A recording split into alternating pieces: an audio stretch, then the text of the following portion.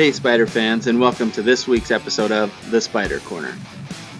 This week we're talking about our TASM 2 urethane spiders. These spiders measure about 11 inches long by about 6.5 inches wide, but can be made to any size. In this close-up you can see the thickness of the spider itself, which is about 1.5 millimeters, which is just thick enough so that you know that there is a spider on the suit and not just a spider printed on the suit. So in the background here we have a couple of helpful tools to help apply your spider to any suit.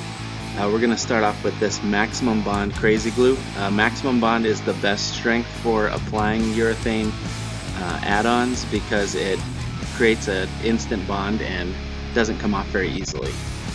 Next up is wax paper. When we're putting our spiders onto suits, we typically put the suit on a mannequin and then we'll put the wax paper on top of the mannequin in between the suit and the mannequin so that the suit itself does not stick to the mannequin itself. These urethane symbols are available on our website and can be cut in any custom shape and painted in any color. So that's going to wrap up this week's episode, and if you're still looking for a suit for this Halloween, we're still taking Halloween guaranteed orders up until October 10th.